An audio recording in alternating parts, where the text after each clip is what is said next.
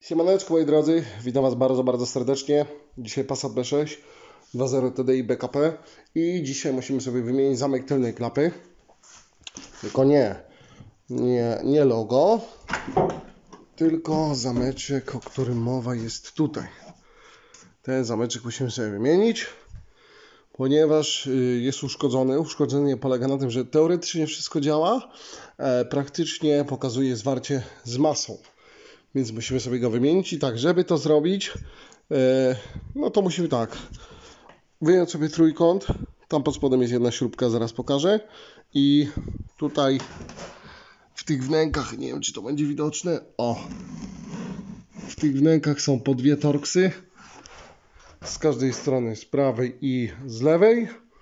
Wyciągamy sobie, wykręcamy sobie to torksy, wykręcamy sobie tutaj torksa i reszta wszystko jest na blaszkach.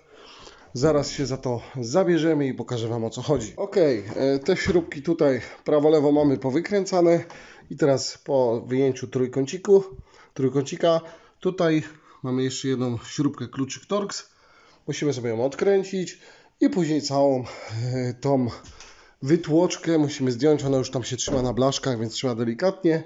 No ale wiadomo, stanowczo. Dobra, bierzemy się do roboty. I teraz tak, e, żeby wyjąć ten plasticzek, jedna zapadka, druga zapadeczka.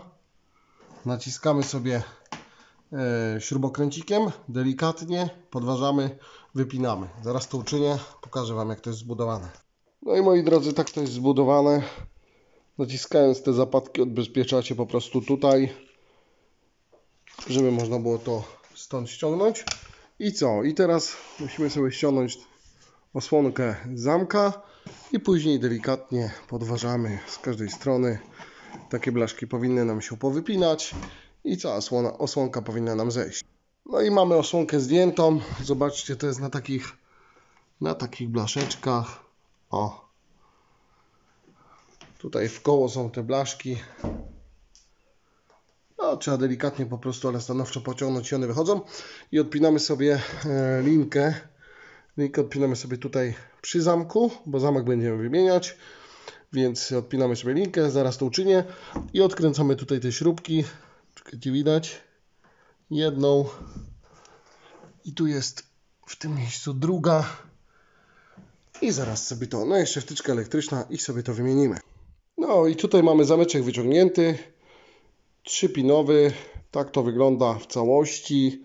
Numery oryginału Zobaczymy, czy są. One chyba są. Coś tutaj mam nadzieję widać. A tutaj mamy drugi.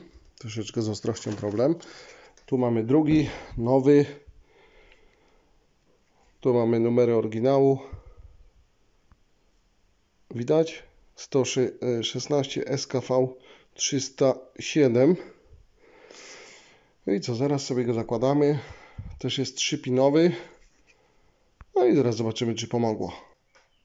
Dobra, moi drodzy, wszystko mamy tutaj pozakładane. Zamek siedzi, linka siedzi. Tu nie ma jakiejś skomplikowanej procedury naprawy tego. Dwie śrubki, jedna wtyczka, jedna linka. Tutaj na pewno sobie każdy z tym poradzi. Linkę się, y, wtyczkę się odpina tak, że trzeba ją złapać z dwóch stron, ścisnąć i ona wychodzi.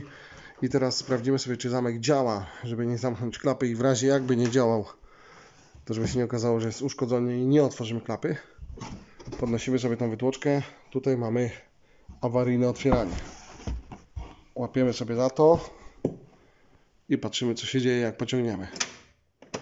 Czyli wszystko działa. Światełko nam się świeci, czyli znaczy, że poprawnie zamek działa. I co? Ja to składam do kupy. W sumie to tyle. Jeszcze Wam pokażę jak to jest złożone. Dobra, sprawdzimy sobie jeszcze czy to działa po E, pociągnięciu za, za logo Volkswagena, więc uwaga. No jak widać działa. Teraz sobie to zamkniemy jeszcze raz i spróbujemy z pilota. Dobra, i teraz bierzemy sobie pilota. Trzeba przytrzymać.